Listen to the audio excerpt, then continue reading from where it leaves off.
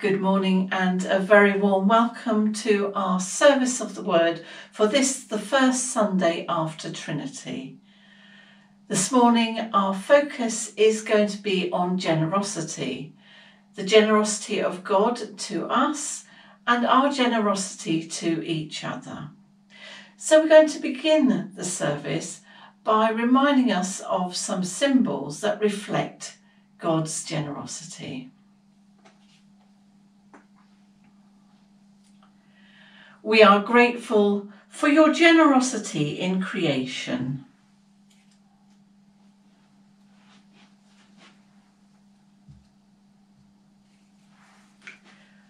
We bless you and thank you.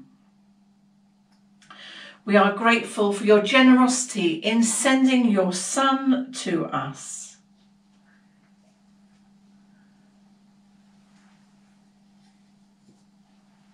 We bless you and thank you.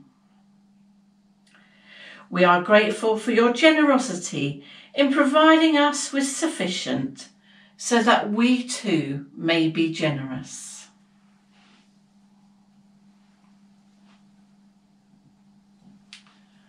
We bless you and thank you. All things come from you, O Lord, and of your own do we give you. Through Christ, let us offer our sacrifice of praise to God. Let our lips proclaim his praise. And so, as we gather together, we bring with us some thoughts, some words, some actions that we wish to say sorry for, and we offer them now to God in true repentance. What God has prepared for those who love him he is revealed to us through the Spirit. For the Spirit searches everything. Therefore, let us in penitence open our hearts to the Lord, who has prepared good things for those who love him.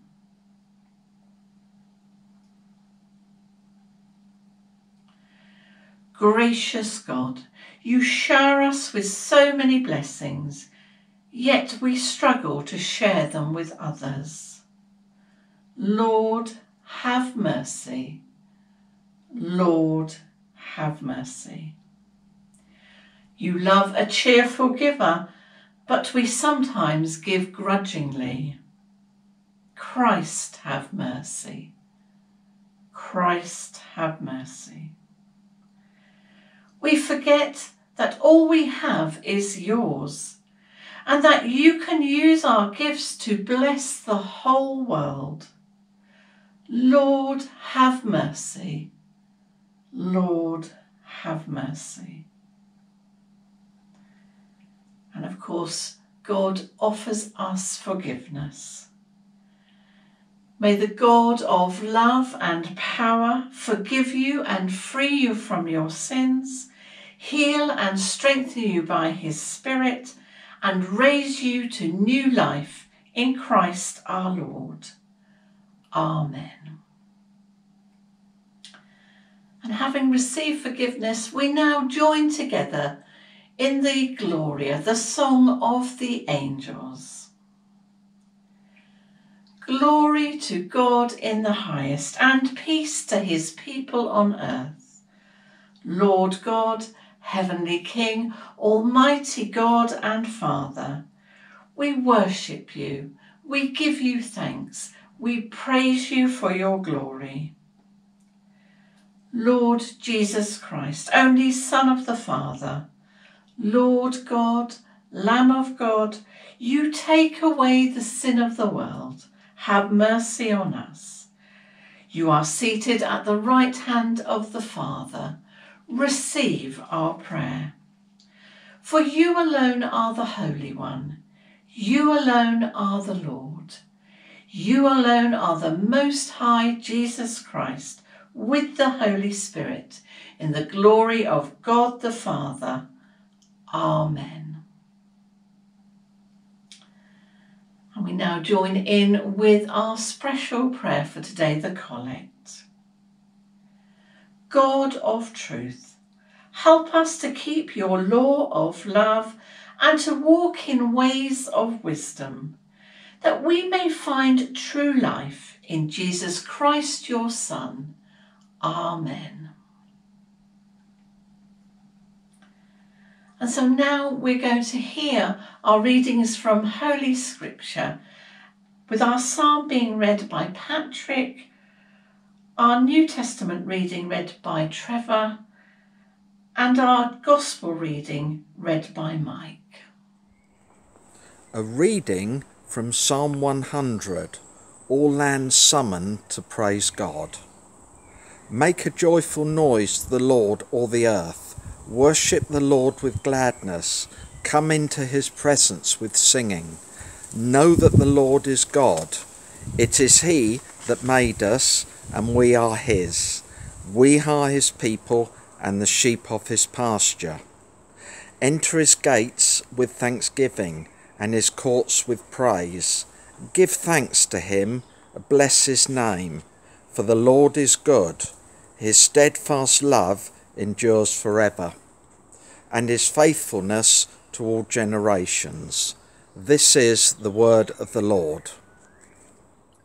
The reading is from St. Paul's epistle to the Romans, chapter 5, and is considered by some to be the very focal point of his thinking,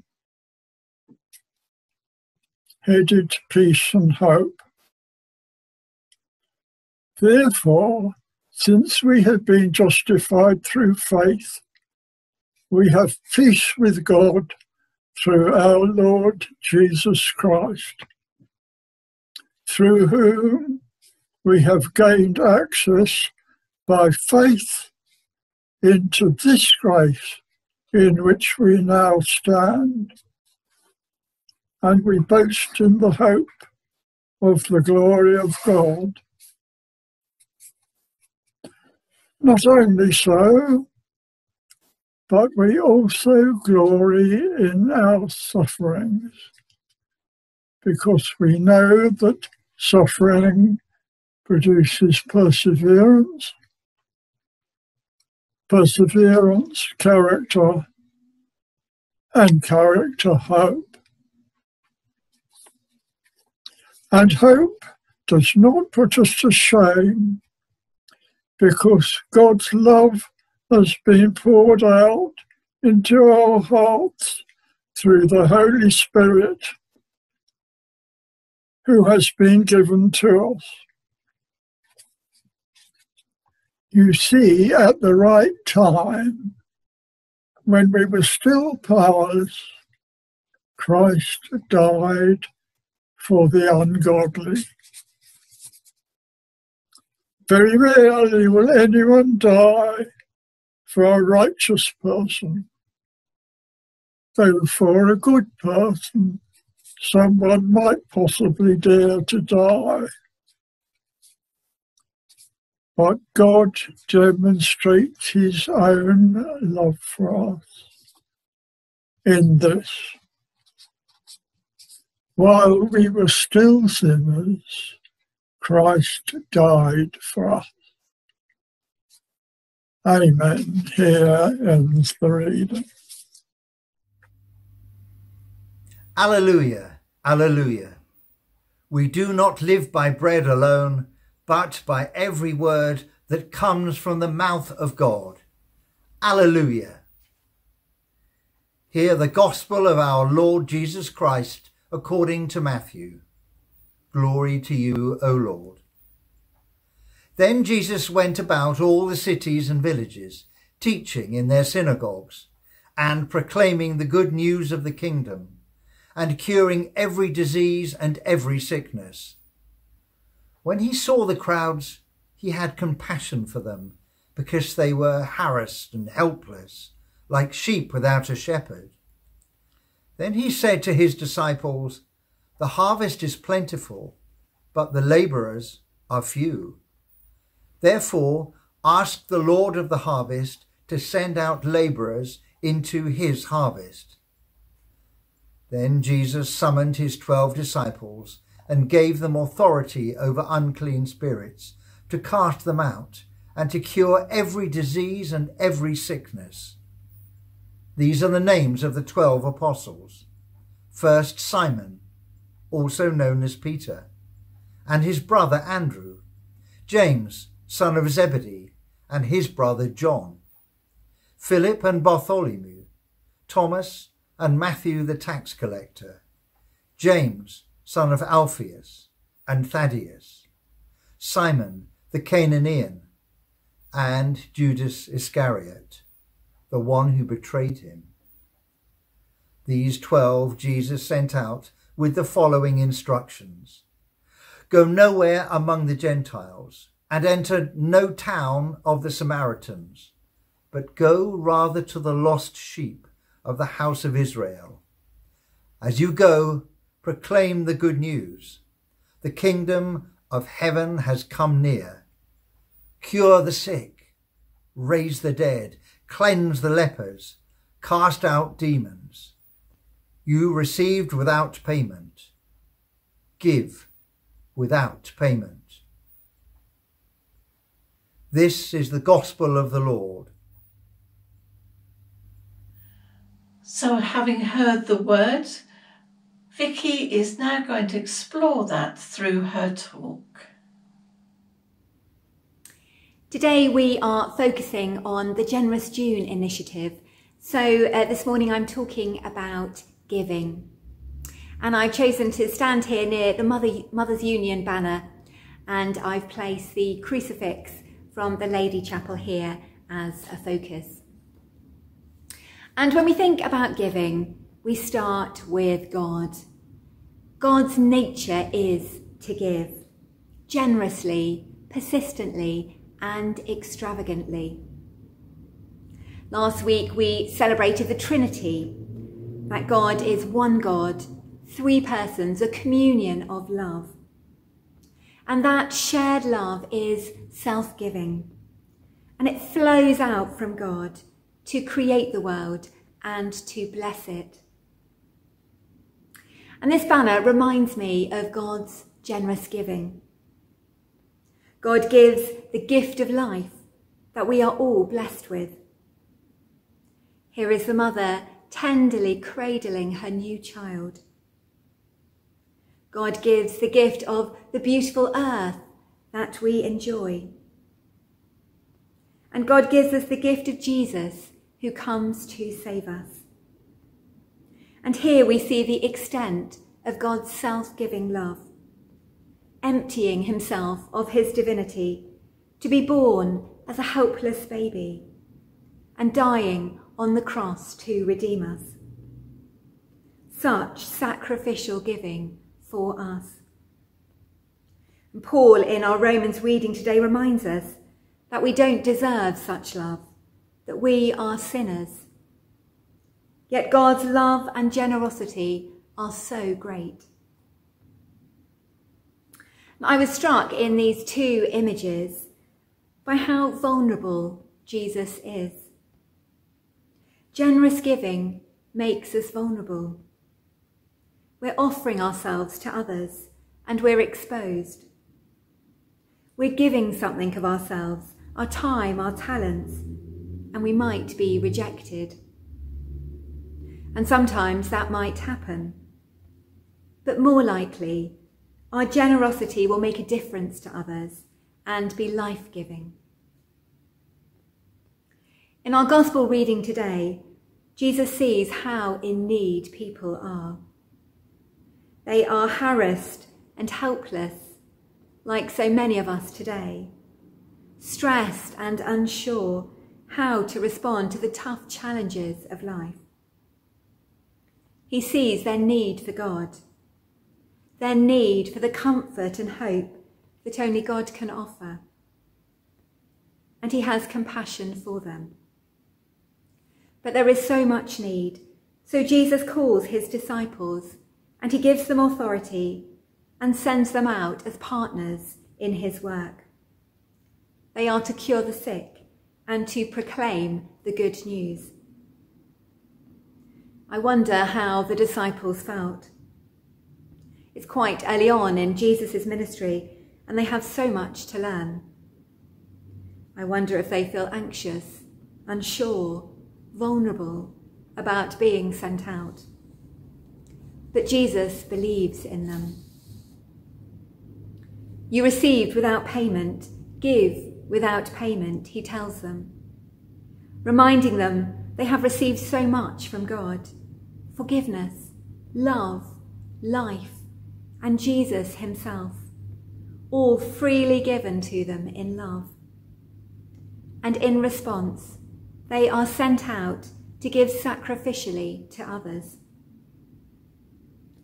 And God also calls us to this work. Like the disciples, we are forgiven, loved, and blessed.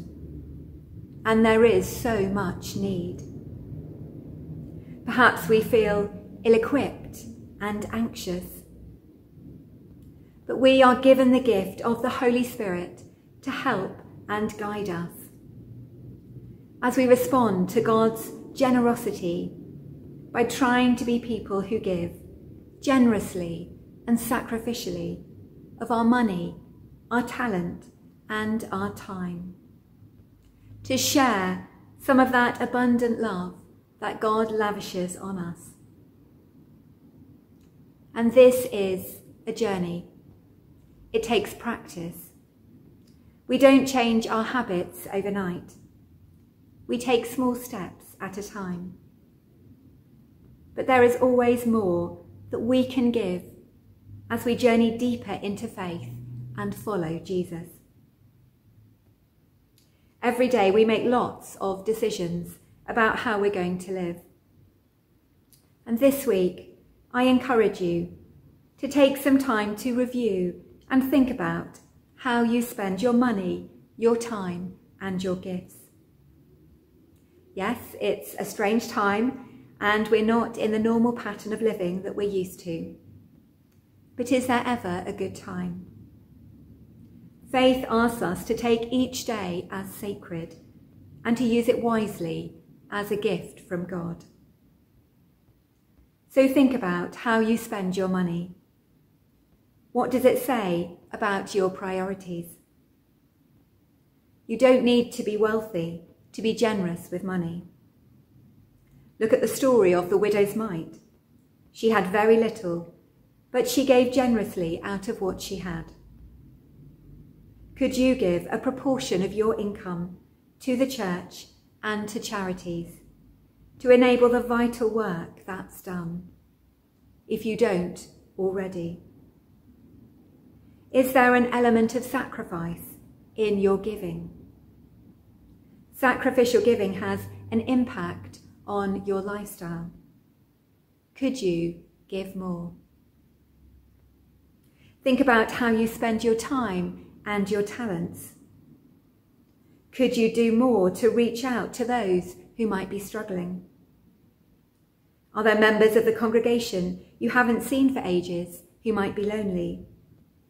Could you give them a ring or send an email or a card to lift their spirits? Even if you don't know them that well. When you reply to an email, could you spend a little longer writing it and add in an appreciative comment to show you value the other person? How could you share some of God's generous love today and every day through the resources that you have been given? Amen. So now we join together in an affirmation of faith.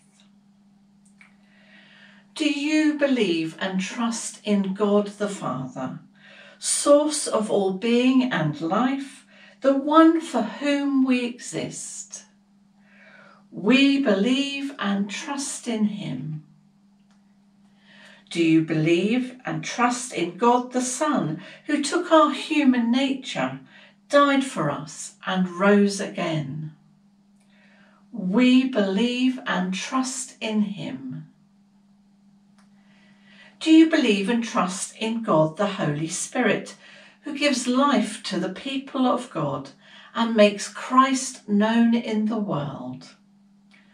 We believe and trust in him. This is the faith of the church. This is our faith. We believe and trust in one God, Father, Son, and Holy Spirit. Amen.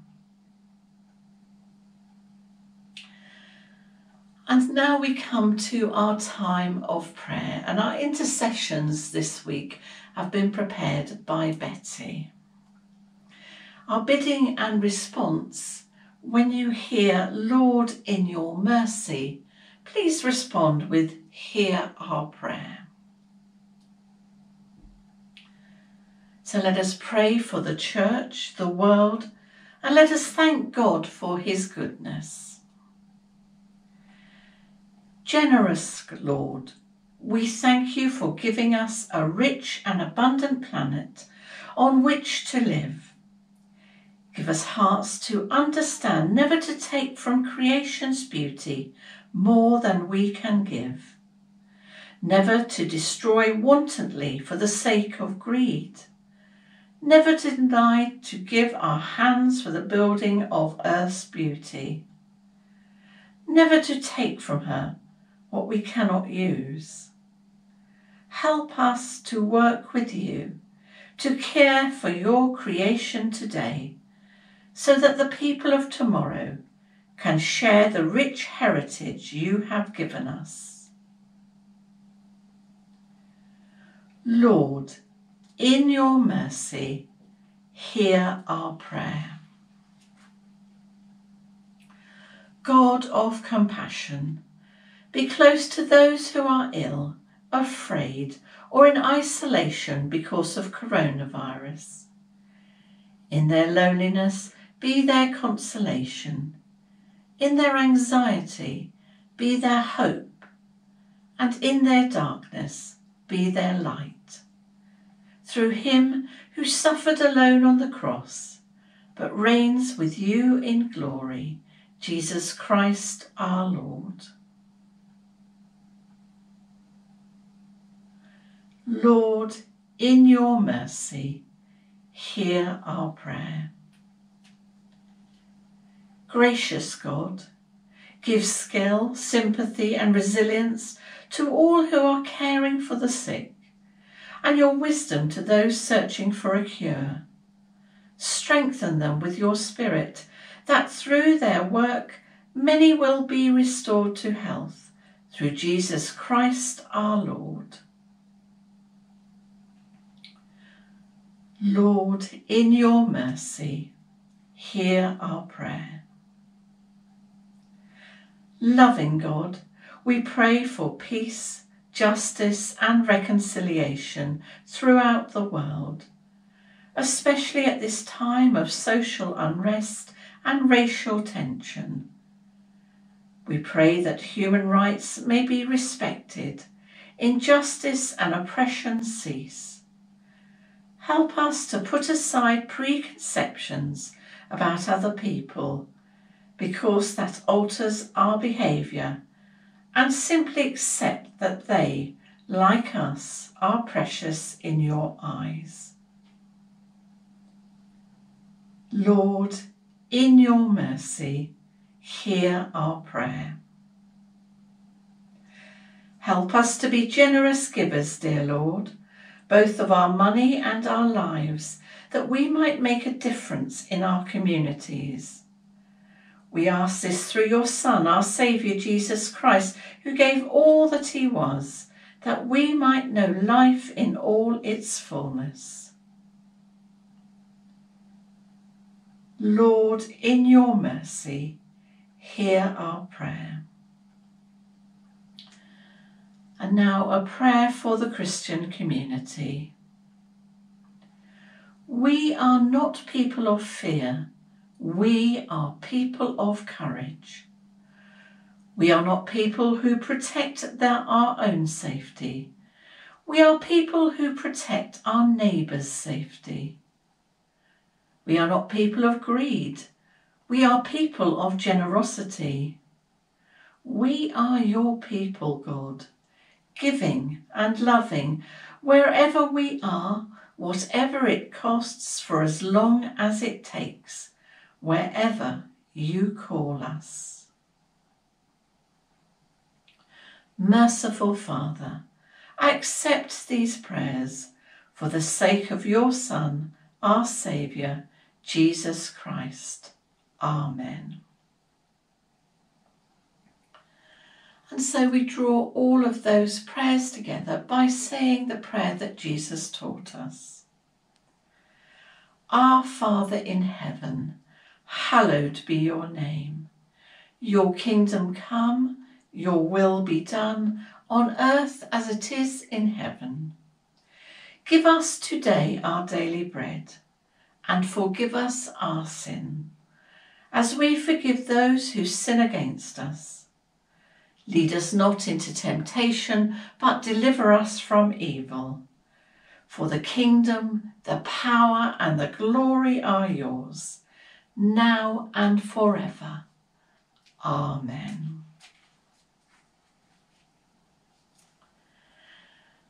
And so, as we bring our service to a close, we are offered a blessing. God, you are everything to us, giving us life, filling us with love, and setting us free from sin that we might live in you. Accept the work of our hands this day. Take our lives, give us your peace, and renew us in the service of Jesus Christ our Lord. And the blessing of God Almighty, the Father, the Son, and the Holy Spirit remain with you and those you love today and always. Amen. So go forward today, knowing that the love of God the Father, the grace of Jesus Christ, and the peace of the Holy Spirit goes with you. Amen.